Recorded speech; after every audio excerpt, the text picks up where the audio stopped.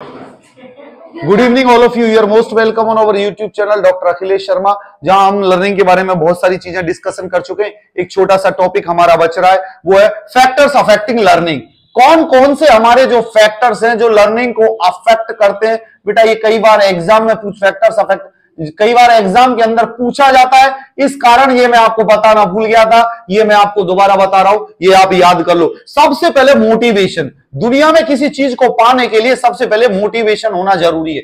यही हमारे लर्निंग के लिए ज़रूरी है। आजकल हम लोग मोटिवेशनल वीडियोस क्यों देखते हैं? मोटिवेशन लेने के लिए मोटिव होने के लिए। मोटिवेशन का मतलब क्या? ये मोटिवेशन टॉपिक आएगा, मैं पढ़ाऊँगा। मोटिवेशन का मतलब होता है be motive to a goal एक गोल की तरफ़ ओरिएंटेड होना मोटिवेशन कहलाता है। तो motivation is pro motivation is helpful in good learning और लर्नर के पास भी मोटिवेशन होना चाहिए कि वो उसको पा सके। जैसे एक good nurse to stand fast please parents और टू प्लीज़ वंस ईगो और please sign birthday of you go और लाइक और लव मीन्स नॉर्मली क्या होता है बेटा? मोटिवेशन यदि आपने देखा होगा कोई नर्सिंग स्टाफ अपनी अच्छी लाइफ जी रहा है या एक ऐसा अच्छा कोर्स है तो आप भी उसकी तरह बनना चाहते हैं। तो मोटिवेशन हमेशा ज़रूरी है लर्निंग के लिए। दूसरा होता बेटा इंटेलिजेंस इंटेलिजेंस का लेवल ज़रूरी है, क्योंकि यदि बिना आईक्यू के आप सीख नहीं सकते। यदि आपके पास इंटेलिजेंस लेवल है तो आप लर्निंग जल्दी कर पाएँगे। दूसरा हो गया बेटा फिजिक ऑफ़ लर्निंग लर्नर का फिजिक होना physical health physique of learner का कहने का मतलब है फ़िज़िकल हेल्थ होना ज़रूरी है। यदि बॉडी के अंदर पेन हो रहा है, यदि वो उसकी बॉडी डिस्कंफर्ट है तो वो नहीं सीख पाएगा। तो नॉर्मली फ़िज़िकल हेल्थ होना बहुत ज़रूरी है। फिजिक होना बहुत ज़रूरी है। और इसको दूसरे वर्डों में हम क्या कह सकते हैं? फ़िज़िकल हेल्थ होना ज़रूरी है एक पर्सन की। और दूसरा, एक पर्सन की मेंटल हेल्थी होना बहुत ज़रूरी है, क्योंकि मेंटल हेल्थ के थ्रू वो लर्निंग कर सकता है। If someone is poor in mental health that person can't learn anything next good working conditions learn करने के लिए हमेशा वर्किंग कंडीशंस अच्छी होनी चाहिए। गुड वर्किंग कंडीशन आप क्लासरूम के अंदर बैठे हुए, यदि इस क्लासरूम के अंदर यदि आपके लिए कंफर्टेबल एनवायरमेंट नहीं हो तो आप नहीं बैठेंगे ना। प्रॉब्लम आ जाएगी, सीख नहीं पाओगे। और यदि यही फेवरेबल एनवायरमेंट आपके पास है, आप रिलैक्स से आप पढ़ रहे हैं, बैठ रहे तो ये आपके लर्निंग को स्टिमुलेट करेगा।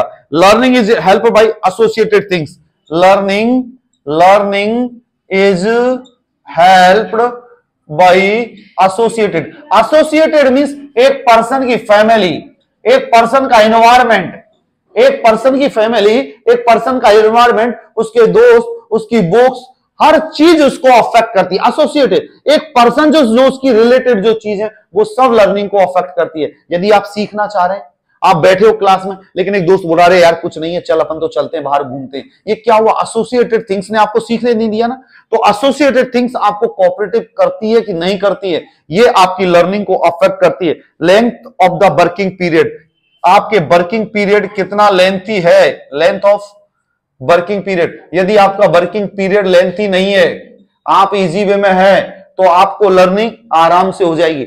यदि आप लंबे दिन भर, रात भर आप लगे रहेंगे तो फिर आप कम सीख पाएँगे।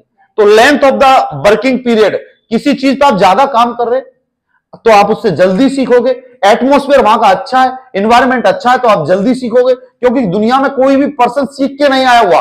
सब लोग यही बैठ के सीखते तो length of working period will affect your learning और नेक्स्ट आ गया मैच्यूरेशन मैच्यूरेशन बहुत ज़रूरी है मैच्योरिटी लर्निंग करने के लिए मैच्यूरेशन बहुत ज़रूरी है। जब मैं एक बात बताऊँ आपको, इंसान को जब तक समझ में नहीं आता कि पढ़ाई का जब तक रोल है, जब तक उसका बचपन है। और जब मैच्योरिटी आती है, जब उसका टाइम चल जा, चला जाता है। मैं कहता हूँ ना, एक इंसान को ये पता लगने में और ये समझने में ज़िंदगी का बहुत लम्हा निकल जाता है और बाद में हर एक आपके पेरेंट्स भी यही कहते होंगे, बेटा, हम नहीं पढ़े तो देख ले, तू तो पढ़ ले कम से कम, जिनके पिताजी माताजी पढ़े नहीं है। हर एक माँ बाप ये कहेंगे, बेटा, तू तो पढ़ ले कम से कम। तो मैच्योरेशन मैच्योरिटी आपको स्टिमुलेट करती है और जब ये मैच्योरिटी आ जाती है तो आपको लर्निंग बहुत जल्दी सीखने में हेल्पफुल होता है। तो दोस्तों, ये क्वेश्चन एग्ज़ाम में बहुत बार पूछा गया है। इस कारण मैंने इसकी शॉर्ट अलग से वीडियो बनाई थी कि फैक्टर्स अफेक्टिंग लर्निंग कौन कौन से? Motivation intelligence physique of learning या physical health mental health good working conditions learning is helped by associated things length of working period and maturation ये आठों टॉपिक आपको याद करना है, जो आपके फैक्टर्स अफेक्ट करते हैं लर्निंग को। बाकी की और हमारी वीडियोस देखने के लिए हमारा YouTube channel doctor Akhilesh Sharma subscribe करो शेयर करो। Thank you bye